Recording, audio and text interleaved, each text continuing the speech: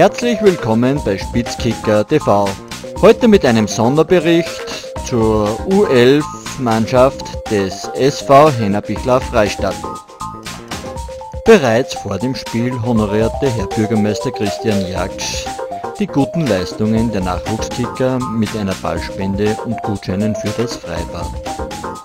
Eine tolle Geste. Danke im Namen der Nachwuchsabteilung des SV Freistadt. Am 21. Oktober fand im Holzheider Stadion in Freistadt das Spitzenspiel der U11-Meisterschaft Freistadt gegen Schenkenfelden statt. Freistadt stand ja schon vor Beginn so gut wie als Meister fest. Die Fragen waren daher, würden unsere Kicker ungeschlagen bleiben und knacken sie die 100-Tor-Marke? Das Spiel entpuppte sich dann auch wirklich als Spitzenspiel. Beide Mannschaften bewiesen, dass sie zu Recht an der Tabellenspitze zu finden sind.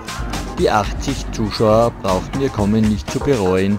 Sie sahen nämlich eine flotte und ausgeglichene Partie auf einem sehr hohen Niveau für U11-Mannschaften. Schenkenfelden ging in der 16. Minute durch Elias Six mit 0 zu 1 in Führung. Mit diesem Stand wurden dann auch die Seiten gewechselt.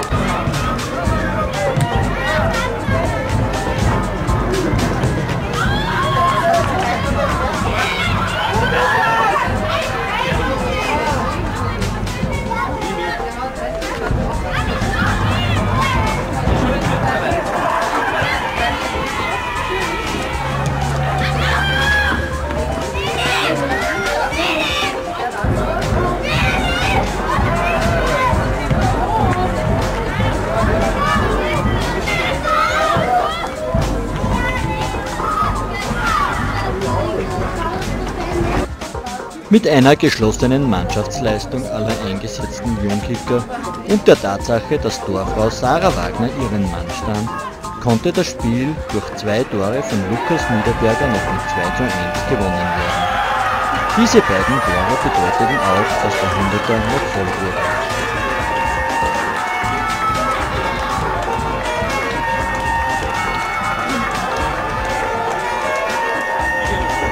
Sarah war stets auf dem Posten und musste während der Meisterschaft nur vier Gegentore hinnehmen.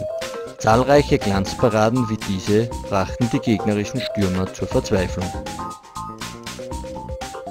Ein Kompliment gebührt aber auch den Knirpsen von Senkenfelden, die unglücklich verloren und durchaus auch gewinnen hätten können. Auch sie haben eine tolle Leistung gemacht.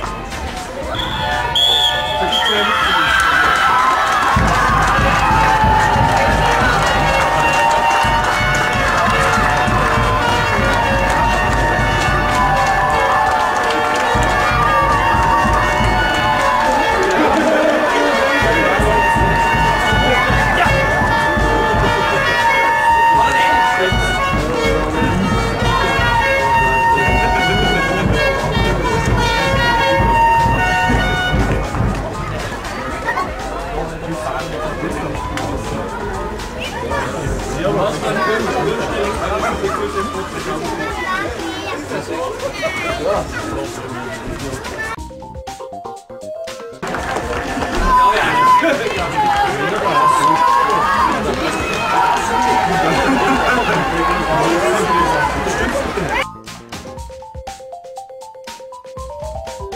Nach dem Spiel erfolgten bereits die ersten Ehrungen und es wurde mit Meistertorte und Leihwahl gefeiert, bis es finster wurde. Am nächsten Tag durften die Helden von morgen mit der Kampfmannschaft beim Spitzenspiel der Landesliga Ost gegen Union Katzdorf einlaufen und in der Pause wurden sie mit Medaillen beschmückt. Die Übergabe übernahm Frau Vizebürgermeister Uli Steininger. Danke an dieser Stelle. So wurde ein tolles Erlebnis für die Jungkicker abgerundet.